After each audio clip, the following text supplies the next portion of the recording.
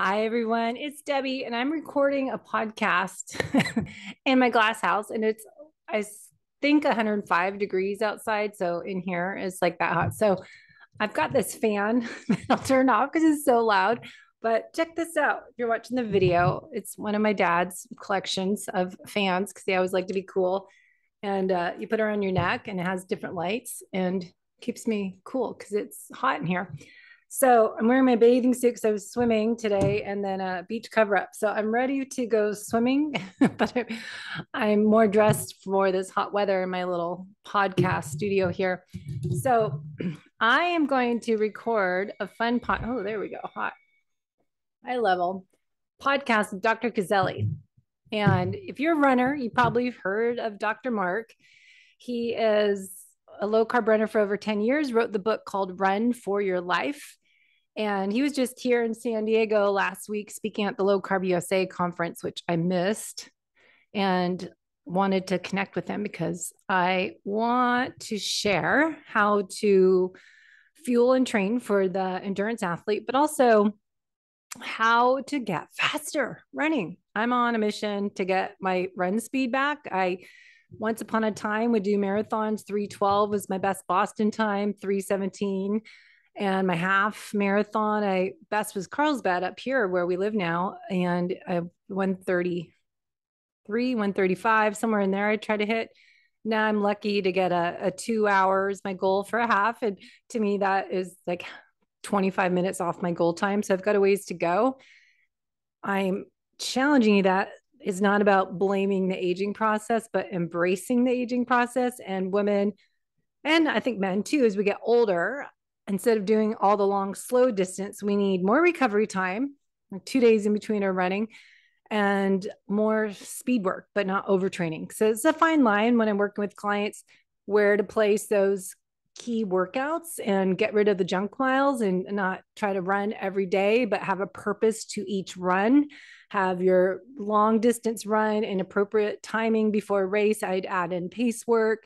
And then during the week, Um, I'm doing the minimalist effect, you know, 30, 45 minutes on a run up to an hour, but less is more. I used to do a lot of volume and now I'm just doing less workouts, more of the minimal effective dose and doing a long run on my Sundays as I've done forever as an Ironman athlete. Yeah, bike long Saturdays, we run long Sundays is just my routine.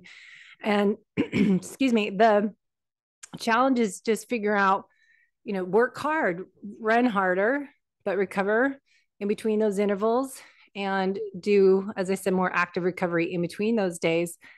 Finally, I joined the San Diego Track Club last week and did a Tuesday night run group at 6 p.m. I'm an AM person to work out hard. And so evening is a challenge, but I did it. And the other challenge is it, it disrupts my sleep. So I'm sacrificing my eight o'clock bedtime because I wake up early so I can get track workout in. Because if you can find a group near where you live, you I used to always do Tuesday nights 5:30, and then I used to run out my own run group at Wednesdays at 6 p.m. It really helps challenge you and pushes you for those intervals. So if you're doing 400, 800, 1000 meters, 200 meters, we did a little bit of everything. Should be equal to three miles of speed work, but really going hard and recover, which is one thing. The recovery, I walk, get my heart rate down, and then jog, and then start the next one. But I was fascinated by these people that I was running with doing speed workout. They would jog on the recovery. I'm like, how can you jog? I need to walk. So I think people can go harder if they recover longer. So kind of that rest based training I like. So, anyways, let's talk to Dr. Mark. We'll talk about nutrition and training. And he had some exercise tips to give people and then um, exercise testing. So, let's see what he has to say and bring him on the show. Hold on. All right, I've got the man, Dr. Mark, on the show to talk all things running, efficiency, fueling, training, how to improve our speed, performance in races, longevity, all of the above. You're going to tell us the secrets. Thanks for coming on and and joining the Low Carb Athlete podcast. Thank you, Debbie, for having me on. I don't know if we'll be able to hit all that in an hour. I know, right? I, we have so many we'll topics. Yeah. We'll see so, what direction it goes. I think just this, I'll I shared your intro in the intro, your background, just if people haven't heard of you. I've heard of you, as I said, for years. And, you know, going into metabolic efficiency testing, into natural running four years ago. And I used to own a fitness studio for 10 years and I attempted to host all these events like the natural running seminars with um, who is it? Oh, the new he did it for Newton running shoes. He Danny Abshire, yeah. probably, Ian Adamson. Yeah, Ian, yeah, Ian. Way back, yeah. Yep. So we used Ian to do I that 10 years a lot ago. teaching this stuff. Yeah, that's right. That's probably where I met you for your name from. But you know, all this information over the years, what is your how long you've been doing this? What is the biggest thing you think is what we need to share with people in today's date of, you know, people learning about more so low carb and fueling, getting faster, and metabolic efficiency? Where where do you think we are in the running industry and endurance athletes? Gosh, it's a it's a great question, and maybe like to bring it down to like one slide. I think I think what all of us are trying to do, Debbie, is try to become like a a healthy human organism, right? Yes. And that has to do with hardware. So that's strength, posture, structure, you know, bone density, muscle mass. Like that's how we're built. And then there's software that's how we move right that's uh, all the biomechanics that mm-hmm. ian and newton running and i used to try to teach you know don't smash into the ground with your leg over stretch but that has to do with your movement patterns all day you know like how you lift things how you sit how you stand because uh, people end up with musculoskeletal injuries all, all, the time and some of them are debilitating injuries you know mm-hmm. disc herniations needing knee and hip replacement so how we move is important but then our energy systems are really important. So that's how we make ATP. You know, that's the currency of, of muscle contraction. So if any one of those are greatly neglected, you know, the whole yeah. system shuts down. And um, I think you know, we're all just trying to get get better and stay in the game, whether you're trying to compete or not. You know, we're, we're all just trying to be able to get ourselves up off the floor, you know, 80 or 90 years old, so we don't end up in a care home. But but then we all want to be able to, if, if we don't have those elements in place, you know, you you and I both love to be outside doing anything, right? Hiking, running, biking, being with friends. And if if you can't those components. Now go. we got interrupted quickly there. But yes, if any one of those components aren't there, you know, we're, we're not going to be happy people. We'll have depression too. You know, I, I my mood stabilizes every morning if I can go run.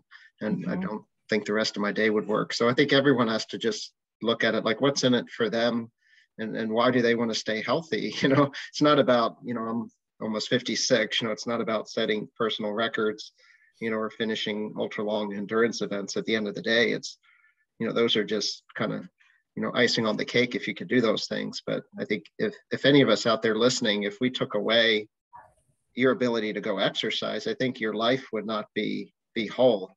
And there you could probably take away your entire retirement account before you would want me to take away your physical activity. And I think that'd be a fair statement. Like what would make your life less fulfilled? losing your entire retirement account or losing your ability to go out and do what you love. Yeah, and I think that's so important as we get older that we focus, as I say every show, to focus on how we're training to set ourselves up for 70, 80, 90 years old and be able to move right and have good posture and have physical ability to keep doing what we're doing and thrive every day. But what are some things that we can do now to improve our endurance? So, metabolic efficiency, we've talked about on and off over the years. Maybe start with that and how to improve fat oxidation. If people are fat adapted athletes, how do we get faster and train so we're burning fat at higher rates? Because we talked to zach bitter we talked to s fuels leighton phillips and you know really diving into this a little bit more to teach people all right i'm fat adapted. Now what? Like how do i improve that aerobic engine and get faster and be able to go longer? Yeah that's a great question not with one direct answer because if you compare what's happening in Zach Bitter's physiology to some, I, I, deal with diabetes patients all day to a type 2 diabetes patient. So we call it a zone two. And, and what zone two is, and everyone listening here probably is familiar with that term, you know, that's that aerobic base. And what that really represents is the maximum effort or, you know, maximum heart rate where you're recruiting the type 1 fibers. So, so the type 1 fibers are the fibers that are highly efficient at using fat for fuel. Now, someone like Zach Bitter can probably run at a seven minute mile still be in zone two, meaning he's not needing to tap into what are called the in-between fibers, these fog fibers, fast, fast oxidative and glycolytic fibers. So he's pretty much staying just in type one. And by doing a lot of work in that area, you're building tons of capillaries and mitochondria in, uh, in those type one fibers. And the magic that that does is that allows us to actually do more work later in the higher zones. Because in the higher zones, what happens when you go into the exercise lab is your lactate starts to trickle up. So we all have a level of exercise where we're maintaining the same lactate levels. We're able to clear this out without uh, developing acidity. And we're trying to push that up.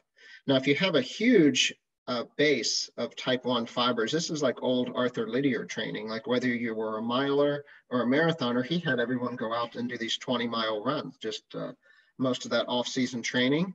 Um, but if they started even in season to, to get kind of stale or overtrained, he would have them go back and do that zone two stuff. He didn't call it zone two, but that aerobic stuff. So you're building this huge, huge base of type one uh, mitochondria capillaries. And what happens is now, like say you're in a race, like say Zach is running a 100 mile race, and he's got to just haul up a mountain where he's tapping into zone three, maybe even a little bit into zone four. He's creating more lactate, but his massive uh, base of type 1 fibers can shuttle that lactate back in to these magical energy chambers called mitochondria. So instead of shuttling to acid, these the lactate can shuttle back into the mitochondria and produce more ATP and no acidity. So I hope that makes basic sense. But the bigger that type 1 base, the more you can use fat for fuel and the more you can even go into that sugar burning zone, but still be able to maintain the pace. Um, now, a, a, diabetes patient, for example, and, and you've talked about respiratory exchange ratio and crossover points on your show. So if a well person is just walking the dog, they're, that's zone one. You know, you're just going out for a little walk, walking the dog um, you're using almost all fat for fuel and your respiratory exchange ratio is about 0.7. It means you're not producing a lot of carbon dioxide. Now, if uh, while, while on that dog walk, um, someone starts chasing you and you start running, and now all of a sudden your respiratory rate picks up. So now your respiratory exchange ratio is about one, you're burning carbohydrates and you're blowing off more CO2. So therefore your respiratory rate picks up. So I think anyone out there you know, riding a bike or running, you know, say you're on a easy coffee ride with some friends, and then all of a sudden, you know, your younger friend starts tightening the screws, right? They could still be in zone two, chatting away, and, and your respiratory exchange ratio goes up. But a diabetes patient, we're talking about type two diabetes, not type one, yeah. totally different physiology. So these folks are at 1.0 at rest. Mm. And when they go for a walk, even out the door, their lactate goes up and they're 100% carb burning, you know, just, and they, they're miserable. They don't like it. I've done thousands of exercise tests in the hospital on mostly medical patients, not athletes. And they get acidotic in uh, what we would call a Bruce protocol at stage one, stage yeah. 2 mm-hmm. um, yeah, and your their heart rate goes up, their respiratory rate goes immediately up as soon as they start walking. So that person really needs to fix their diet first and go ridiculously slow. So, and I'm talking about ridiculously slow. Is that like maffetone, the max aerobic function, or what slow? Probably even lower, um, because for they can't even burn fat for fuel sitting on the couch. You know, so they've got to, you know, ideally be low carbohydrate. There's some medications that can help those folks become more insulin sensitive. So they're the sick folks. Mm-hmm. Now, the folks like Zach, you know, they're really well enough. He wanted to upregulate his ability to use fat for fuel more than the normal Tour de France rider, which he has done. Um, people, we could link to the FASTER study. Yeah. So people who have fat adapted, you know, meaning taken months, months and months, even years to upregulate their ability to burn fat for fuel. This is where the low carb diet comes in. And those folks can burn up to like 1.8 grams of, of fat per minute, where um, the normal mortal elite athlete who's not fat adapted might be about 0.6 to 0.8. So, so that's a choice an athlete makes based on whatever type of event. So, so Zach's type of events are perfect for that. They're 100 mile races. There's no what we would call glycolytic work. where a Tour de France racer, there is a ton of times in that Tour de France where they've got to like go all in mm-hmm. and be able to kind of light matches, so to speak, to be able to burn fast acting glucose to be able to go up Alpe d'Huez. Mm-hmm. So they're Ironman, you know, really not much glycolytic work. So someone's training for an Ironman, it would behoove them to be massively fat adapted in diet and training both, because there's really not much sprinting or you know surges or you know you, you watch the Tour de France attacks, right? But maybe back in the Mark Allen days, you could watch them, and, and they were really kind of attacking each other on the bike, and there was some of that stuff going on. But well, yeah. Most, if you're pro in yeah, Ironman, it's totally different than age group or, like I would try to yeah. to be best in my age group, but I would, you know, be pushing it hard on the bike to keep my top end of my aerobic heart rate. And, and my hmm. goal was always how fast can I get to stay, you know, at my peak heart rate where I'm still burning primarily fat. So then you can go into the run and, you know, feel pretty kind of fresh.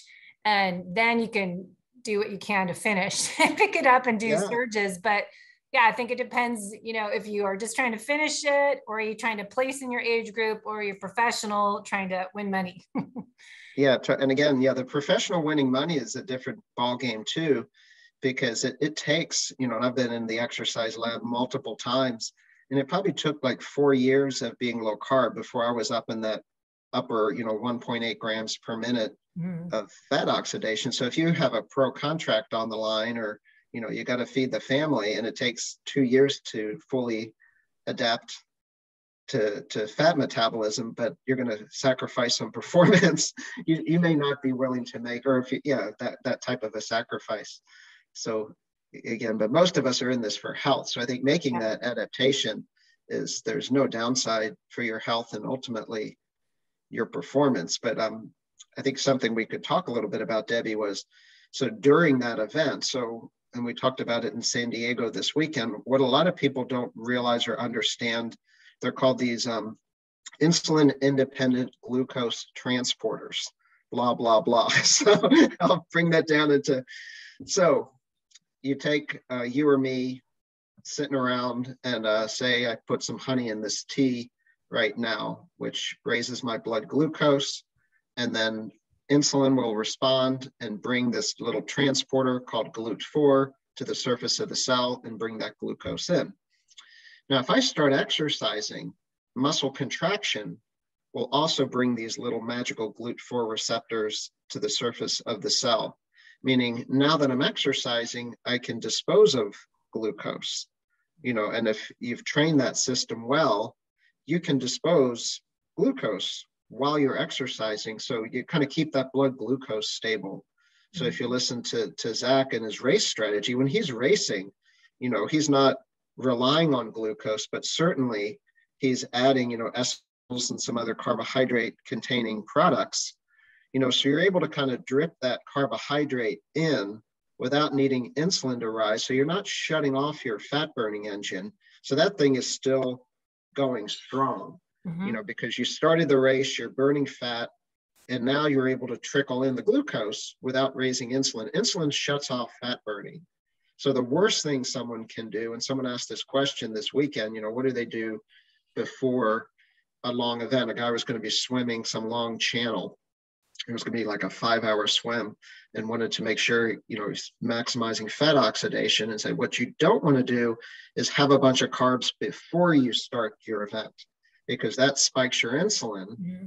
And then you, you know, start the swim or start your race, insulin's up. So you're not burning fat at all. But once you get moving and you get that, you know, I call it like the electric battery and then the gas tank. So the electric battery is like like fat burning, you know, you get that big log on the fire going, and then you know, you can trickle in glucose and low blood glucose.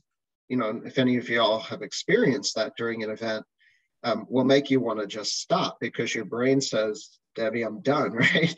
And then it, right, you, everyone has experienced this. They think they're done, right? They think they've just bonked. And even on like a ultra course, you'll take a shot of Coke or something mm-hmm. like that, and it brings you back from the dead. Yeah. because what that did was your blood glucose was just tanking And it wasn't that you bonked, you were out of glycogen, you ran out of, like, we'd never run out of fuel. Our brain protects us from dying. So if it's sensing blood glucose is down, it's shutting off motor units and it's just telling you stop. But that's mm-hmm. something to play with. Always have a little bit of glucose. And even if you're fully fat adapted, you know, always have a little bit of glucose. Once you're moving, you know, that glucose is like rocket fuel. Yeah. You know, like on top of your your big fat burning battery, so to speak. So that kind of goes ties into what we're saying is we're talking about a lot is is training low. Like Dan Plews, I've been going over his Endure program, and it's that train low and Peter Defty, optimal fat metabolism, metabolism we talked about mm-hmm. a lot. So training low and then matching that with your exercise with your fueling keeping your carbs low and eating more healthy fats and protein, and then strategically timing your carbohydrates so you're in a fat adapted state. But what I'm finding a lot of people and and different theories and Jay Feldman's talking about energy metabolism, it's still like we need to be able to metabolize carbs. So there's a few different thoughts. Oh, we'll yeah, kind of break it up, yeah. but that's like, you know, how to teach people to burn fat, how we're training and how we're eating, and then once you get to a certain point, I feel like people still need to be able to metabolize carbs because a lot of people go one end to the other and they don't realize they have to flex back and forth. And I think that's becoming a, a big topic lately is all right, I'm fat adapted, I'm keto. Now carbs, I'm scared of carbs because they'll spike my glucose and I don't want to get out of fat burning when I'm training or racing yeah actually the opposite is true. You know like everything or you know there's two sides to every argument and then there's yeah. the truth or at least we keep searching for the truth in, in science but human experience tells us a lot. So the, the, the really amazing work has been done by a gentleman named george brooks. Uh, he's he 30 years he's been talking about lactate and the lactate shuttle and inigo san millan at university of colorado has written a lot on the topic. So so the best zone two athletes you know tour de france riders any any endurance uh, triathletes, marathon runners. So the best zone two athletes, you know, can burn the most fat at very high power outputs. There's even a, there was an article with Eliud Kipchoge's physiology, and his fat max, even though he's not a low carber, and he's probably only burning about 0.8. I'd have to pull up the pull up the study, but his fat max, like that's his zone two, where, where you're maximally using fat for fuel before you start shifting to more glucose. He's running about a five minute mile. Mm. And then uh, the article was about what it would take to do the 159. So when he's doing a 159, he's like lighting matches. He's like 12% fat, 88% sugar, you know, at 438 pace. And at five minute pace, he's like 80% fat, 20% sugar. So it's like dramatic. Like, so how do you push that out? Mm-hmm. You know, so he had strategic carbohydrates during that event. You know, they do the do the wind tunnel testing of all the pacers. You know, it's all the magic they did to try to really um, cut that. You know, cut that that little margin out. But what you also see in the best fat adapted athletes, they're also the best sugar burners too.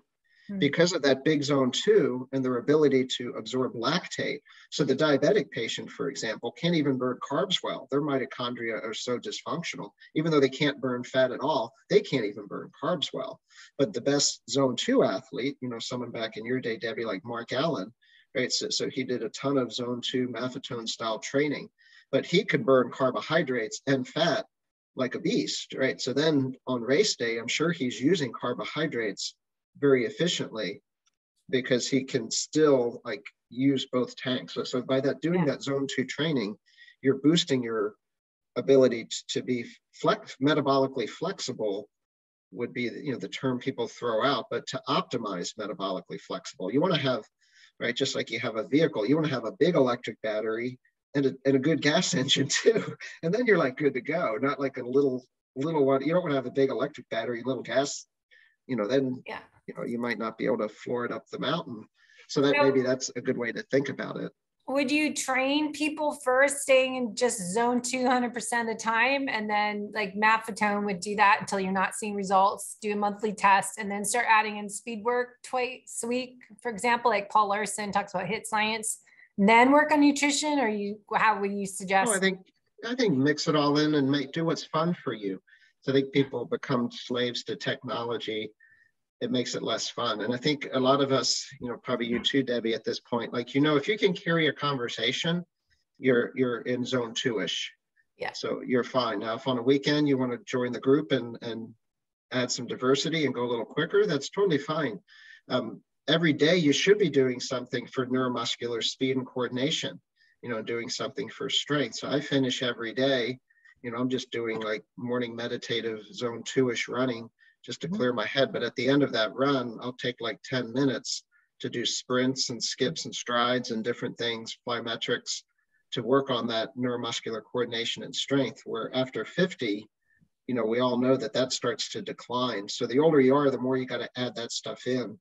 So I think it's good to do end of your too. workout. But oh yeah, sorry. yeah, yeah, for sure. It. And that's an actually a really important point, Debbie, because people, oh, should I start my workout with more intense stuff and then and then uh, finish it with the more mellow stuff? No, because what that'll do is it'll sabotage the slow stuff. Because once you've developed high lactate, you've shut off fat metabolism. So if you do a bunch of intervals like early in your workout and then say, well, then I want to go finish with 30 minutes of zone two, your lactate is up. So, so you're not using fat at all. Now, all of us kind of know intuitively if we're going to do high intensity, it always feels good once you've kind of got that zone two engine opened up. And then you feel like you're ready to do something a little bit harder if your brain feels like it, right? Like if you've had a hard day at work, poor sleep, a lot of stress, don't add another stress, but just think of it like that. You know, so so you, once you've kind of built up a lot of lactate, you've shut off fat mm-hmm. Metabolism. So so start mellow and then add that stuff at the end.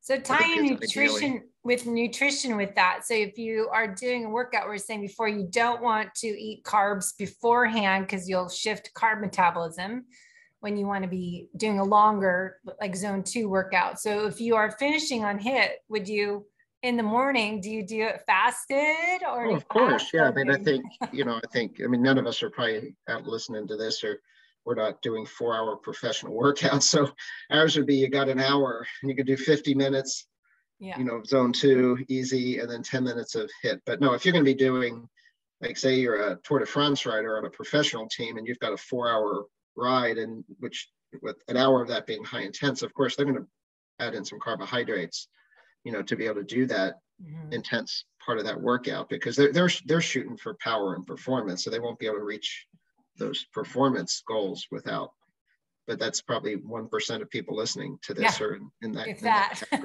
so when you work out, you work out in the morning, do you have coffee with anything in it or what do you do before a long workout or a short workout? Just coffee. Yeah. I mean, just coffee and even on a weekend, if I'll go out for two or three hours on some trails, just coffee. You know, no uh, creamer in it. No, sometimes I'll put, I have a little of this product called Health Code, which Ben Bikman oh yeah made. I know, he's he's the guy. If you want to talk about insulin, get him. Yeah, I know. Show. I've had him a couple but, years yeah, ago. so I like his product. I'll just put like half a scoop of the chocolate stuff. It's got little protein. Mm-hmm. Yeah, he's he's brilliant. I, I, like it and use a little whisker. Yeah. Um, but otherwise, just a little bit of coffee. Yeah, I've been doing Laird's superfoods. They have a Laird's creamer that's coconut has some MCT oil and, oh, yeah, some be, adaptogens. That would so be perfect. Just I'm getting the unsweetened because it doesn't have the coconut sugar in it, but because mm-hmm. I can't do everybody has stevia and monk fruit mm-hmm. and erythritol, and I can't do any of that. So I'm just going back to the unsweetened or and just add, you know, some collagen and if, or creamer stuff in it. But that's always a big question is to eat or not to eat, when to do have something beforehand, especially a female athlete is always like what did you eat the night before? When did you stop eating? You know, are you fasting too long? And when is it another stressor when you're already stressing your body in your workout? So kind of it gets so confusing. It's yeah. like, well, what's yeah. intensity of your workout, your duration, what did you eat the night before, and what else you know hormones yeah. for and i think it's so individual too so like if what works for me if it doesn't work for you don't do it. So yeah so if you want to add people on longer runs want to add a little bit of like low glycemic stuff you just don't want to spike your insulin. You know have a bagel before you go out the door but yeah. you know if you have something with some fat protein little you know tablespoon of nut butter you know or bring a, a little uh, UCAN gel on a ride with you which is kind of slow release carb if you're going to be out there a couple hours sure electrolytes are key too. You know, this is like what I, it's because I've been drinking this up like crazy. This is just the non-caloric oh, hydrate. Yeah. so it's good. I'm I'm recovering from COVID now, so I'm going through gallons of, of you know, yeah. been sweating heavily the last uh, 72 hours. Yeah, so just me, drinking me too, but not. That's yeah. it's hot here. yeah, it's 100 degrees in LA. Yeah. So I think it's important to talk about, you know, what to eat, the when and the why for athletes, but if there is a point to add in carbohydrates and that it's neutral natural carbohydrates because as i said earlier people are afraid of any carbohydrates. And then when they are able to give you you know that backup engine for rocket fuel. So if you are doing a higher intensity workout or doing like a i did 6 p.m track workout tuesday night that you know should i have something beforehand because a lot of times i think we all get we're type A, AAA, ambitious, high charging athletes that we think more is better. Like, okay, I could do this totally fasted and not eat. And like a, a long bike ride, I could not eat, but is it affect, when does it impact my performance? I'm actually going slower. And when having a little something, real food sources can improve my performance when I'm trying to get faster and stronger. Yeah, I think that Debbie comes down to blood glucose you know, so if, if you have a 6 p.m. track workout and you had lunch at 11 a.m. and your experience last time you tanked at like the second interval, oh, your, your blood glucose probably tanked. And, you know, I've got one of these now in, in my arm, you know, so a glucose monitor, you know, will at least give you data, you know, on what's going on yeah, with yeah. you. Yeah, CGM. So I haven't exercised today, but, you know, it's pretty flat you know, had some eggs this morning, but probably again, you're going to be using those insulin independent um, pathways while you're exercising. So I think something that has a drink maybe that would have just a little bit of carbohydrate and probably a little bit of caffeine at that, like it, it, it's an after workout thing. Play with that because, and, and even between, like if you're doing a track session between intervals, and you'll be like, oh my gosh, that just like brought me back from the dead. I mean, uh, yeah, and you know, like in all these ultras, like these old school ultras, I mean, there's little shots of Coca Cola, like at every aid station, not big amounts, just like a little bit that can bring that blood glucose back up. So that does not affect your fat oxidation, but it'll make that exercise session not drudgery. You know, none of us want to just suck through something and suffer. No, but just play play with that. Not big amounts of carbohydrate, even like 10 grams of carbohydrate. You know, well, 10 grams raises your blood glucose. You know, yeah, I think that's like what amount is okay because we're afraid. I think most of us, because we've done this so long, or there's new people that they're afraid of spiking their glucose. And a lot of people are insulin resistant. I have type 2 yes. diabetics, and they're afraid of adding any carbohydrates in and sticking to more of a keto carnivore but their performance i think is suffering and so it's like all right you know what what even are carbs that are good quality sources of real food that's not going to cause my insulin to go up too high but will help me perform better yeah, I think your important differentiator there too, as, as we spoke before, Debbie, is who is insulin resistant type 2 diabetic and who's insulin sensitive well. You know, the person who's on the type 2 diabetes spectrum, their body can't handle carbohydrates. So that's the group I'd say use a lot of caution because their glucose is going to go up high and their insulin is going to keep cranking up to try to store that glucose because they're resistant. Whereas someone who's fully insulin sensitive, you know, you put glucose into them and their insulin needs to go up just a little bit and knock on the door and it puts it right in your muscle and liver. The insulin resistant person, they use the same amount of glucose and their insulin has to bang on the door. So getting a medical evaluation, uh, so if you're pre-diabetic, diabetic, central obesity, high triglycerides, we call it the metabolic syndrome, increased blood pressure, we need to get you healthy first. And then you start to worry about the nuances of how much carb you're going to add for your exercise. Because what we really worry about is heart disease in those people.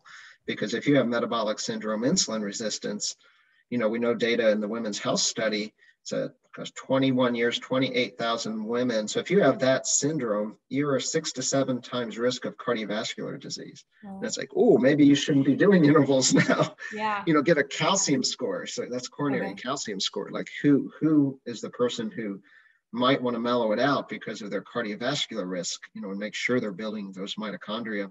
Where that person who's uber well, you know, they're just trying to play with performance you know, and some people thrive low carb for performance and some don't. Mm-hmm. So if we have well people, not all um, well athletes need to be low carb, um, all get fat adapted by training in zone two, high or low carb. That's what I think the missing piece is. People think, oh, these carb eating Tour de France riders, they're massively fat adapted compared to the general population. Now, compared to someone like Zach or you know one of the true low carb elite athletes, no, those guys can burn more fat than the carb eating endurance athletes. But all the endurance athletes are like just are massively fat adapted just by the fact their mitochondria work so well. They can burn fat. Eliud Kipchoge running a five minute mile, burning fat like a beast, and he's eating a lot of ugali.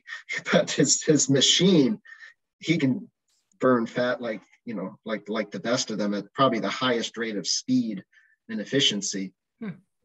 So can you just summarize i think there's a lot of people that are insulin resistant and type 2 diabetics that are endurance athletes because they're mm-hmm. reaching mm-hmm. out a lot so what are like some steps things that we can just kind of review summarize and like step one what should they do to get started on being a low carb athlete they're trying to do marathons ironmans but they're you know, I see people's blood chemistry labs and their cholesterol, their insulin, you know, well, no one's ever, it's hard to get people to doctors test insulin, but, you know, A1C, looking at their, all their inflammatory markers, how can people get started if they already are working on nutrition? Just keep doing that and what to do with their exercise, how to time that.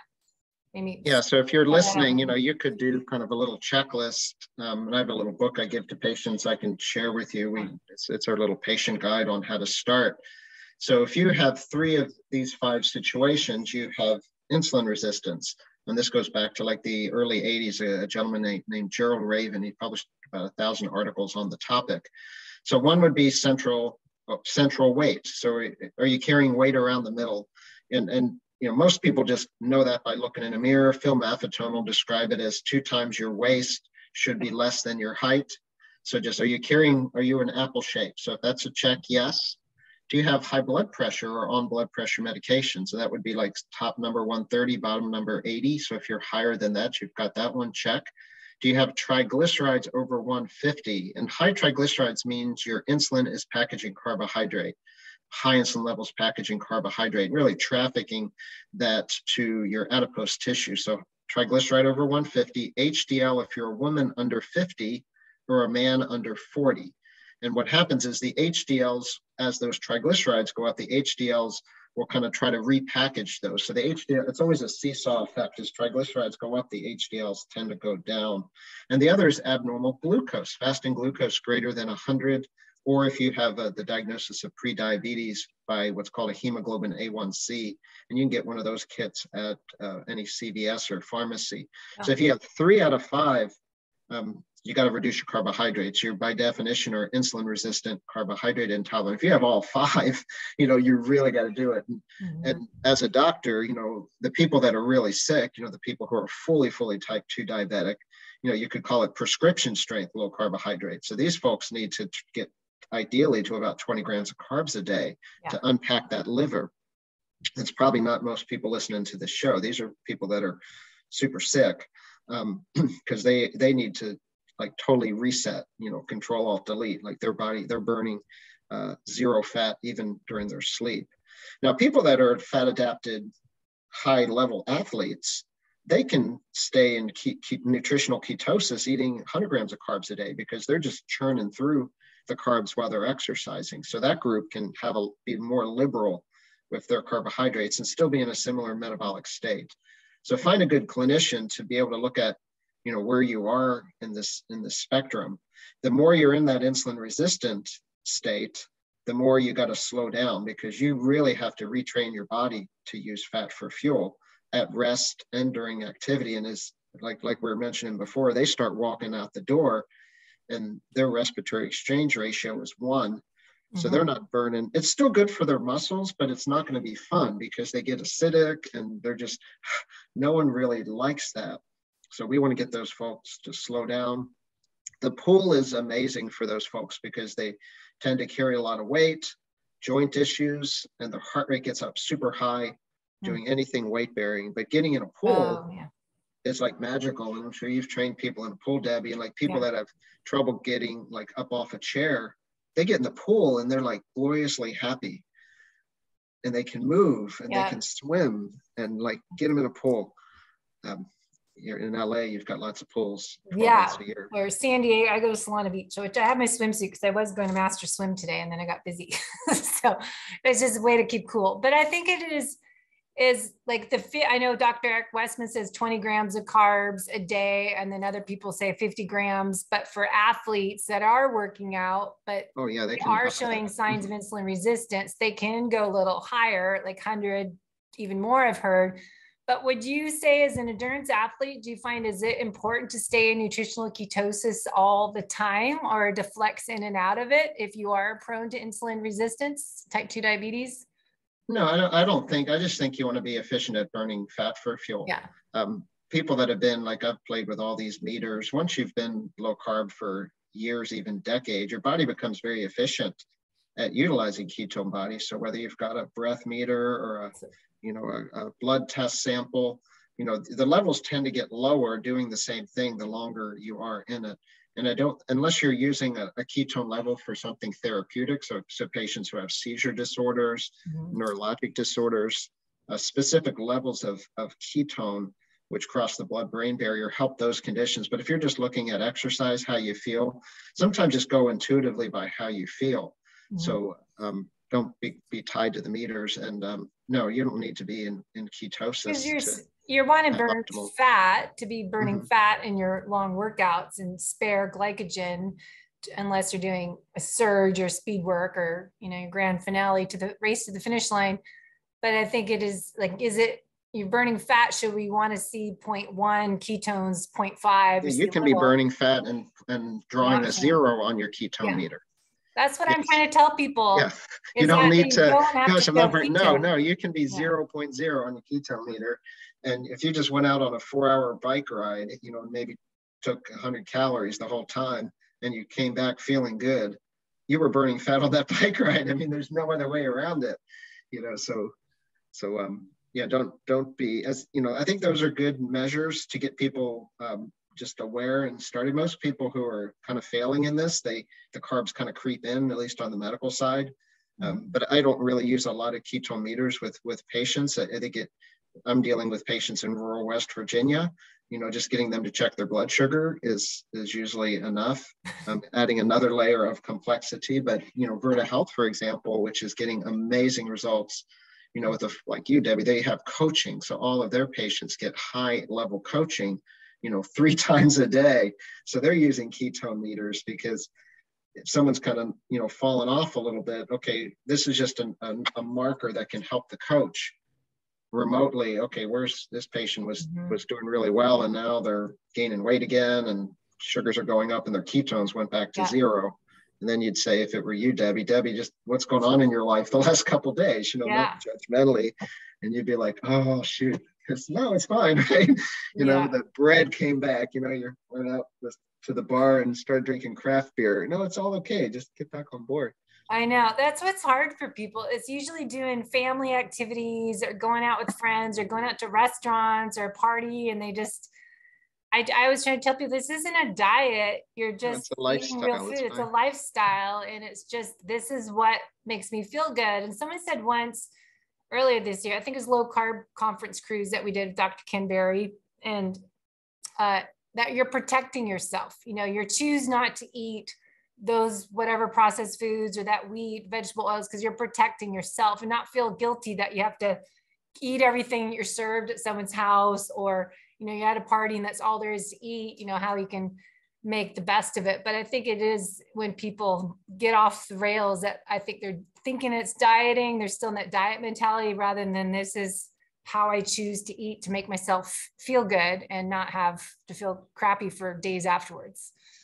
Yeah, people ultimately, Debbie, they just kind of change their identity. And I think that takes a while for it to happen. And you've coached people, like yeah. you've taken people who would never identify themselves as athletes, right? Somehow they find you. Mm-hmm. And then a year later, they don't have to be winning races, and but they found a new tribe and it's like oh i'm an athlete and this is how i behave and their identity just changes and they can go into a church picnic at that time and there's mac and cheese and all this stuff but they're they're fine and that that that takes a while i think for, and once people are in that space, then they're good. They could have a cheat meal, but they don't have a cheat day. And patients have told me that so many times. They've learned that lesson again and again. Yeah. You know, like like you can have a you know a bad meal, but you can't have a bad day because then it all yeah. goes off the rails. Right. And we call it self sabotage. Yeah. You know, they self sabotage. Maybe it's like missing two straight workouts, right? Never miss two straight workouts because then you're I like, oh, I've blown it, right? but no, it's it's it's all good. So anyone listening here, if they've never self-sabotaged or had a bad day or a bad meal or you know, then you're probably not real. So so it's all fine. Yeah. Just work on changing your identity. You know, and I love Ken, you know, I've, I've met him several times and spoken with him at conferences. You know, he just shares the love of this and he, he has such a, a way to make this so simple, plain and clear. I know. And just his YouTube sense. videos. Dr. Yeah. Ken Berry, if anyone wants to learn more, he just has these videos as yeah, go to his, his, in your face YouTube videos. Yeah. He's, he's, another, you know, Southerner, like you know, um, um Appalachia. Where Nashville. yeah. Yeah. So we're going to be out of time, of course, but the best place to find you and watch videos because if we didn't, it's another show to talk about running form and drills and things, how we can get faster, talk stuff I haven't talked about for 10 years, probably what we did with Ian eons ago. nice. how we can get faster running. I know you had some YouTube videos. You've got you're like you've got two river Two Rivers Treads. Yeah, we have a we have a retail a store here. Yeah. So yeah, so probably the best place you can go and it'll link to all these places is drmarksdesk.com because then you could get to the shoe store. Um, we have a, a, website called Natural Running Center, mm-hmm. um, which has a lot of videos of all the running form. And then I wrote a book. It's called Run for Your Life and we have a website for that book called runforyourlifebook.com. And then there's a resource page which has all kinds of videos on drills and running drills, strength training stuff. You know, so if you want to dig deeper into that stuff, those resources are there and they're all free. I will check that out because I've been into those. Do you ever watch Knees Over Toes guy? Yeah, that's a really good exercise to, yep, that's like really powerful stuff. Like for just I, will I'll do that every day in some uh, kind of platform, just uh, almost down to ground level, being able to, you know, smash my hamstring against my calf. But that's a great uh, assessment to show where people are just yeah. locked, whether it's I, got, or. I know it's crazy because I know my left side has been this area of opportunity for a couple years, and I found like trying those things, I have to hold on to something to do it right to get yeah, this get left symmetric. side to fire. But people can running backwards too. I like those guys like talk about running backwards. We yeah, I did that yesterday on the beach. Forward, nice. backwards. Torrey Pine, great mile run you can do. So yeah, beautiful beaches. I know that's my benefit of living here, just 12 miles into the beach, Torrey Pine, Solana Beach. It's perfect. So we'll put everything in the show notes. And then if you want to come back on, talk the rest of it, and I'll add a little extra to the finish if people want to know more about um, some drills on your video, I can talk about too. So thank you so much, Dr. Mark. Well, pleasure to be on, Debbie. Stay cool there in yeah. LA. I hear it's like a like a decade uh, heat wave this week. I know it's, it's supposed to be 105 on Sunday. Jeez. 90s crazy. at the beach, so it's a little toasty. Wow. So. wow. Thank Good. you. I'm glad I, we were able to work this out.